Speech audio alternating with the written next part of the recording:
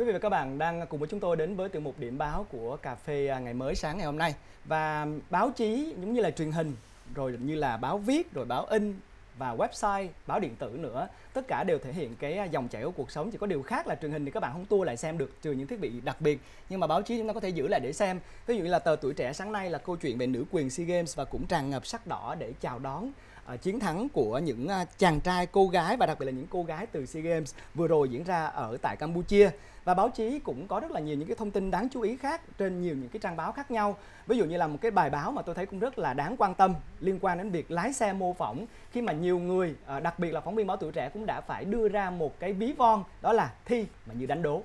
À, lý do là khi mà cái phần mềm mô phỏng do Cục Đường bộ Việt Nam đưa ra có 120 tình huống giao thông được áp dụng vào chương trình à, thi ô tô các hạng B1, B2, C, D, E, F từ ngày 15 tháng 6 sau vài ngày được áp dụng lại có nhiều ý kiến về các tình huống à, này và theo phần mềm này thì người lái xe sẽ quan sát mô phỏng xe đang tham gia giao thông trên đường. Các tình huống nguy hiểm lập trình sẽ xuất hiện sẵn. Người lái xe phải bấm nút space ừ. trên bàn phím để phản xạ giống như chơi game đúng không quý vị? Thang điểm đạt được khi bấm đúng thời điểm như lập trình tạm gọi là điểm chuẩn là 5 điểm. Nếu bấm chậm thang điểm sẽ giảm dần từ 4 về 3 về 2 về 1 và về 0 trường hợp thí sinh bấm quá sớm như với điểm thì sẽ bị không điểm và điều đáng nói là theo phản ánh của nhiều học viên và cả chuyên gia về lái xe, nhiều tình huống đưa ra trong phần mềm có điểm chuẩn vô lý, thậm chí là không đúng với phản xạ thực tế của người lái xe trên đường. Việc này khiến người học lái xe gặp rất nhiều khó khăn và hầu hết người học ghi nhớ như học thuộc bài chứ chưa thể xử lý theo đúng phản xạ như thực tế. Và nó cũng à, vô hình trung cũng quay trở lại cái vòng luẩn quẩn là chúng ta đi học đi thi nhưng mà không làm gì cả. Và quý vị và các bạn quan tâm đến câu chuyện của báo Tuổi Trẻ này xin mời tìm đọc trên trang 5.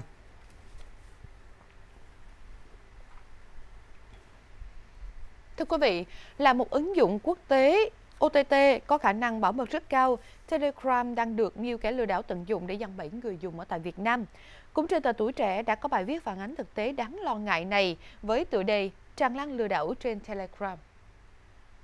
Theo bài viết thì cách thức phổ biến là đưa nạn nhân vào các nhóm bí mật trên Telegram với nhiều người cùng cảnh ngộ để lừa số tiền lên đến hàng trăm triệu đồng. Dù các chiêu lừa không hề mới như là phỏng vấn xin việc, làm nhiệm vụ, mời gọi đầu tư, làm việc từ xa vân vân. Những người tò mò tìm hiểu hoặc muốn tham gia sẽ được dẫn dụ vào các nhóm trên ứng dụng Telegram. Đây là nơi giúp những kẻ lừa đảo có thể dễ dàng nhận ra con mồi tiềm năng và tiến hành giăng lưới. Rất nhiều người dùng đã phản ánh bị lừa đảo từ các chiêu trò trong các hội nhóm trên Telegram. Không ít người đã bị lừa đến hàng hàng trăm triệu đồng. Trao đổi với tuổi trẻ, chuyên gia bảo mật Ngô Minh Hiếu, Trung tâm Giám sát An toàn Không gian mạng quốc gia cho biết, chiêu trò được các đối tượng lừa đảo sử dụng phổ biến hiện nay là tạo ra các quảng cáo giả mạo trên các nền tảng Google, Facebook. Cách thức làm qua nhóm kín trên Telegram khiến nạn nhân dễ bị thao túng tâm lý hơn so với các hội nhóm công khai trên Facebook hay chat riêng tư 11. Telegram được sử dụng trên toàn thế giới với nhiều mục đích khác nhau. Có những nước thì cấm hoàn toàn. Tuy nhiên ở một số quốc gia và một số vùng lãnh thổ thì Telegram lại là một trong những công cụ để truyền bá thông tin tốt nhất. Ví dụ như là ở tại Nga, Ukraine thì Telegram là một công cụ cực kỳ hiệu quả, nó còn hiệu quả hơn cả Facebook.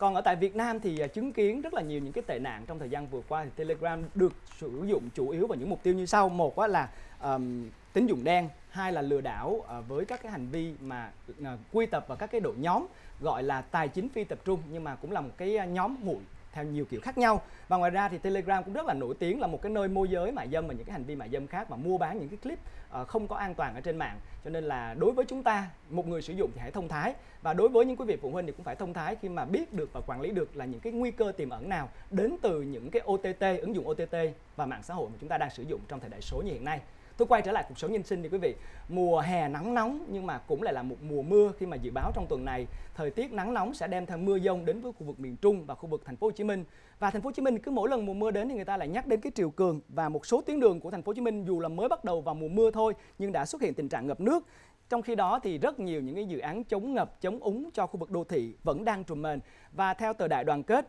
nom nóp để à, lo ngập mùa mưa chính là tâm trạng chung của người dân trong thành phố và cũng là tiết bài của bài báo được đăng tải trên trang 15 số ra ngày hôm nay.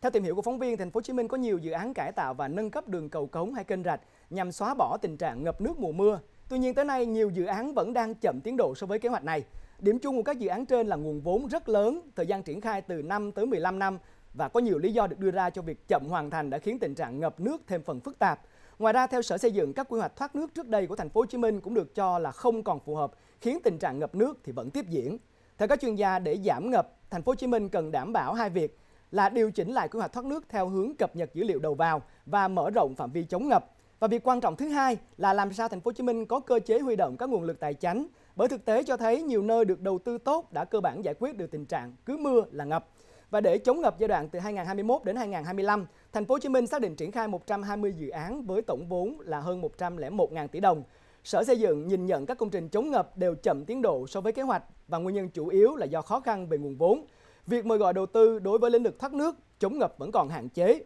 chưa khuyến khích được các nguồn lực bên ngoài tham gia. Khó khăn là thế. Vậy thì lãnh đạo thành phố Hồ Chí Minh có những cái giải pháp nào để cho người dân à, không còn nơm nớp lo ngập mùa mưa này? Quý vị quan tâm xin mời tìm đọc trên trang 15 báo Đại Đoàn kết.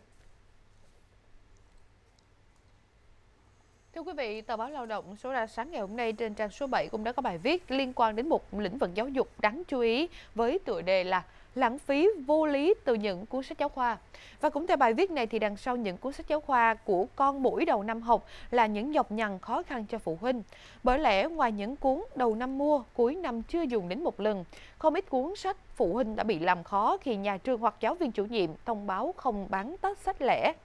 Trong bối cảnh kinh tế khó khăn, việc làm thu nhập đều giảm, với nhiều gia đình những cuốn sách mua mà không sử dụng đều là lãng phí một cách khủng khiếp.